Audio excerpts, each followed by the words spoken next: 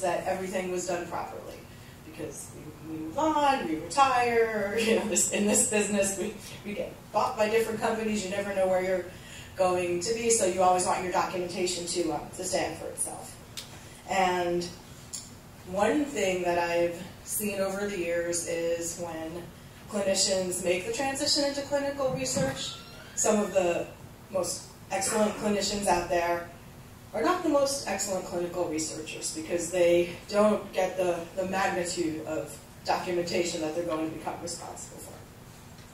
Okay, so this is one of the first documents you'll have to fill out. It's called FDA Form 1572, and this essentially contains a slew of information that the sponsor spend, has to send to FDA in order to have the investigator included in the trial. So there's a lot of logistical types of information on there, but what I want to call your attention to is the very last one, which is the statement of the investigator. Um, this will be on the next slide.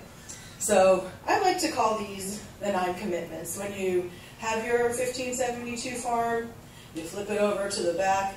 A lot of investigators who have been doing studies for a long time will apply their signature because they're used to signing it, but I always like to bring them back to to really see what they're committing to. So the first thing they're doing is committing to follow the protocol. A lot of these are things Amy told you already, and to keep the sponsor informed of any changes in the research. And of course, to, pretty much goes without saying, we should always have this in the back of our heads that our job is to protect the safety, rights, and well-being of subjects. Uh, there's an, a requirement to personally conduct or supervise the investigation and this is where clinical investigators are really getting slammed nowadays for being absentee or phantom investigators. That's very critical. They are responsible for informing their subjects in no uncertain terms that they are taking an experimental drug, so there are definite risks associated with that. And, and they have to ensure that, that um, informed consent is obtained.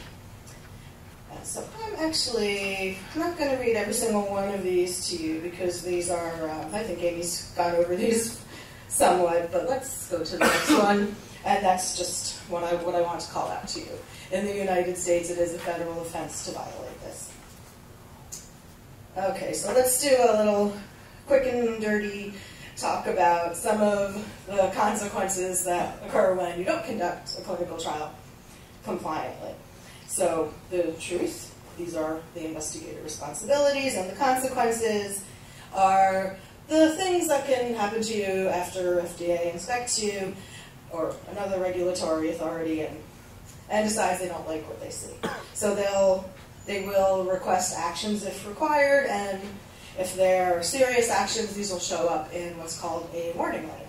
So let's take a look at this first warning letter here. So this is um, this is related to consent. There was um, at the site there was somebody who was not the subject signing the signature for them, which is considered a serious thing because if a subject gives free informed consent, they we need to have proof that they did it themselves. And not using updated consent forms is, is also an issue. So this is something that this investigator was cited for in a warning letter.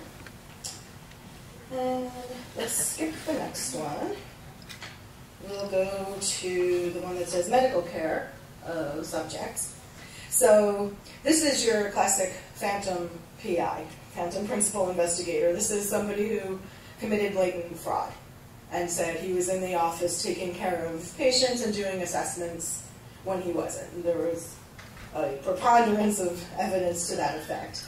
And the take-home message here is that even though this is a documentation issue, sloppy or negligent work leads inspectors and auditors to, to question whether the investigator has adequate resources to, to conduct the trial. Okay. So, yeah, okay. There's, there's a couple of uh, critical ones I want to bring out. So, the, okay, so this next one here, yeah, this one, um, this one is actually very important because there was a miscalculated dose and these subjects are all overdosed. Now luckily there wasn't a serious outcome, but that doesn't mean you're not going to get cited for it because it could potentially lead to something serious if it, if it doesn't recur. Or if it doesn't recur. Okay, so this is fairly straightforward. Now, um, IRB approval expired three times, so you might think that that would be a citation to the Investigational Review Board for not maintaining their approval of the trial, but it's the investigator's responsibility to submit the approval. So the implication and risk here is that there is inadequate safety and subject welfare oversight when that happens. Okay, so the next one is compliance with the investigational plan. And this is actually a response from a site to a warning letter. They, they received the warning letter, they wrote back to FDA. And the message here is if you do get into this situation and you need to respond to health authority, the response isn't this. You know, they, they don't want to hear that. The IRB didn't tell me, the sponsor didn't tell me, you're the one whose name is on that 1572. So you're the one who's responsible. Okay, and let's go to the one after this, because this, this is really a critical one. So FDA also issues something called a NIDPO letter, which is notification of intent of initiation of disqualification proceedings and opportunity to explain. Mm-hmm. NIDPO. and so these are, this is when an investigator is going to be disqualified and possibly pro prosecuted. And this investigator was so egregious with the protocol that he actually killed a child. So, the, yeah, so, you know, the, the, these are serious, serious things. And actually, just this week, I think on April 12th, there was an article in the New York Times about putting some of the trust back into the patients to let them report what their adverse event systems are or symptoms are because there's there's a feeling out there. I think it was a, also a, an EJM article that, that talked about how the doctors are not really obtaining enough information and we're starting to have an issue of underreporting of side effects and, and adverse events. And that article was called In Reporting Systems, Don't Patients Know Best? So I thought that was pretty good. Okay, so this next one, this is actually a statement from the FDA on one of the sites that I put up earlier. And I really liked how they, they summed this up. So this was the investigator who was doing the blame everybody else except me, I'm not accountable. And they said ultimate responsibility for accurate and complete implementation, implementation of the protocol should lie with the investigator rather than with the staff. Um, this investigator has said, I'm going to use this new guidance to train people. And FDA's response was, I'm going to train people is not a response. You have to say how you're going to train people and how you're going to monitor the effectiveness of that training. And they said here, as a clinical investigator, you may delegate study tasks to another to other qualified personnel, but you may not delegate your responsibility. And that's really the, the critical message that as a clinical investigator, you, you have to always be responsible. You have to know what's going on in your study at all times. Okay, so the next slides are just a few references that I wanted to point out to you, and particularly the third one. If anybody remembers the Jesse Gelsinger case, it's about 10 years ago. There was a kid, very healthy kid, who was in a gene therapy study and he actually died, and there was the whole conflict of, conflict of financial interest and not a kind of a black mark on the clinical research field in general. But the lawyer for the Gelsingers, Alan Milstein, who um, is maybe not a favorite person in the industry, actually maintains an excellent website about clinical trials litigation and how to keep yourself out of trouble as an investigator.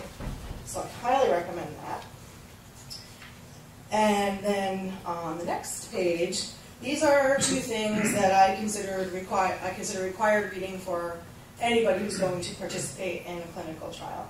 They're all the Belmont report is actually from the 70s, and it's essentially a foundational document that delineates the difference between medical practice and clinical research. So that's a good one to read. And Amy mentioned the Declaration of Helsinki before. That's that's. Okay, so finally, if you want to go out and conduct a clinical trial, how can you comply with these guidelines? We've reiterated that line again from FDA because I don't think we can say that any more perfectly than they did. So the first thing to do is make sure the staff you're using are qualified by training and experience and that you can document this. Work closely with the IRB to make sure all the ethical requirements are, are being met.